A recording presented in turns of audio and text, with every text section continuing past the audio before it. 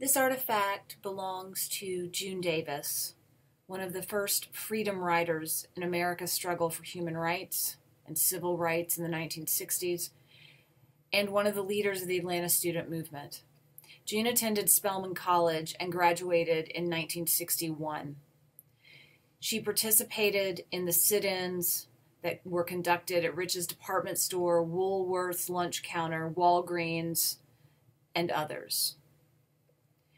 She donated this letter so that students of today may see the reality of what she and other students faced in October of 1960. This is a letter from Spelman College President Albert E. Manley that was sent to the parents and guardians of each Spelman student in October of 1960. Dear parent or guardian, this letter comes to you at this time because of the resumption of activity on the desegregation front by students in the Atlanta University Center and the possible participation by your daughter who is enrolled at Spelman College. Demonstrations may include sit ins, stand ins, kneel ins, and related activities. Some, if not all, of these activities could lead to arrest and jail terms if bail is refused.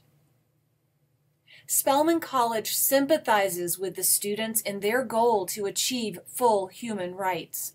Although we shall continue to consult with and offer advice to the students, the decision whether or not to participate in demonstrations is one to be made by each individual student.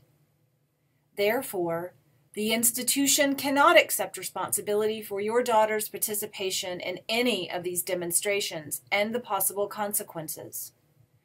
Thus, I am writing you because I feel that as a parent, you should know what may take place and can therefore advise your daughter of your attitude regarding her participation. Please write your daughter concerning this matter at your earliest convenience, and I would appreciate it if you would send me a copy of your letter to her. Sincerely yours, Albert E. Manley, President, Spelman College.